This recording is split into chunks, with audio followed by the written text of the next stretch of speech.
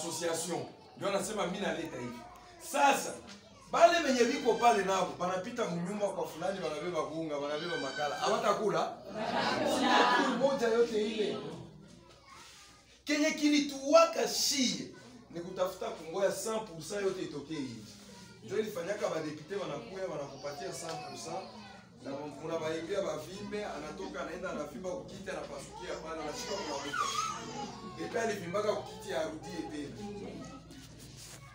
Umoja ni nguvu. Valorisation ya capital humain ndio objectif hii, kupatia mtu valeur yake. Mtu ni mtu, inabidi kumpatia valeur yake. Autonomisation ya mtu, c'est-à-dire mtu ajiprendre en charge ye huyu, ndio maobjectif yetu. Mmoja ni nguvu utalala, utapanda, utashuka. Hakuna mtu mwenye atakusaka franga kumikono, sema unakuwa hivi franga hivi iveza hautaipata o oh, transporo hii tulikuwa mrenyo. haitakuwaka, ndio iliharibisha hichi. Umoja ni namna gani hapa baba mama wanaishi?